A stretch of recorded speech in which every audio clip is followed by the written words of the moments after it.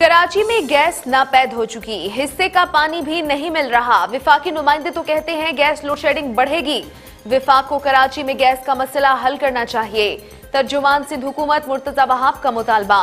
बोले आईजी सिंध से कोई इख्तलाफ नहीं। वज़ीर आज़म को गंदुम के इशू पर मिसगाइड किया जा रहा है।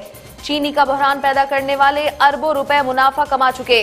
कुछ लोग सिंध की तकसीम की बात कर रहे हैं। कराची का नुमाइंदा कहलाने वाले विफाक के खिलाफ रैली निकालते तो खुशी होती।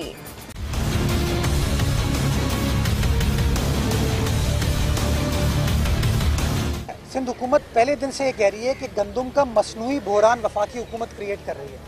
क्योंकि आपको पता है माजी में शुगर माफिया के साथ थे, अद्वियात माफिया के साथ थे, और उन्होंने मसनू बहरान क्रिएट करके अरबों रुपए का टीका इस कौम को लगाया। आप तो कहते हैं वहाँ शॉर्टफॉल नहीं है। आप तो कहते हैं वहाँ पर वाफर मकदार में गंदम अवेलेबल है। आपने प्राइसेस को कंट्रोल कर लिया तो गंदम क्यों लोग लेके जा रहे हैं वहाँ पे? ये शो करता है वज़ीर आज़म साहब। कि आपको हकायक नहीं पता? आपको लोग मिसगाइड कर रहे हैं। और आज भी आप देख सकते हैं कि अद्वियात की कीमतों में इजाफा किया जा रहा है, ताकि एक आम आदमी को नुकसान पहुँचाया जा सके। चीनी का बोरान पैदा करके अरबों रुपए का नुकसान आपने आम आदमी को पाकिस्तान के एक्सचेकर को पहुँचाया, और गंदम के अंदर भी ये लोग चीज़ कर रहे हैं। मैं समझता हूँ, ये लोग नाएल हैं इनकॉम्पिटेंट है, इनके पास कोई पॉलिसी नहीं है।